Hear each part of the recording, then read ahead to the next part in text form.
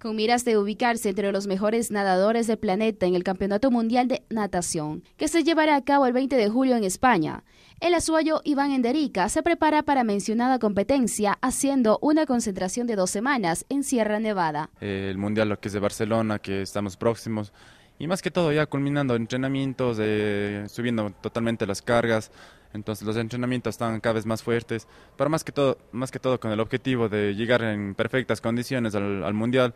Tenemos dos semanas más de cargas altas y después ya en Sierra Nevada se verá el afinamiento y más que todo el trabajo psicológico para el mundial. En espera de que los trabajos duros y forzosos que realizará en la concentración, Enerica comentó dar lo mejor de sí para ubicarse dentro de los mejores del mundo. Hasta ahora, las primeras semanas va a ser eh, cargas totalmente altas, entrenamientos forzosos, gimnasio, preparación física, pero ya después, la siguiente, en dos semanas más, ya se tendrá que bajar cargas, eh, afinar, como se dice ya para lo que es el Mundial, y más que todo porque hay que llegar en perfectas condiciones, ha sido la competencia esperada del año, la más importante.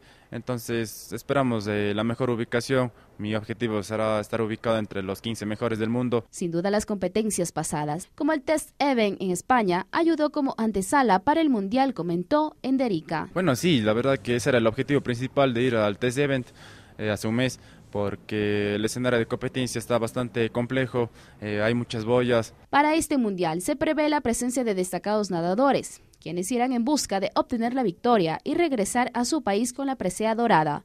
Liliana Llanes, Deporte TV.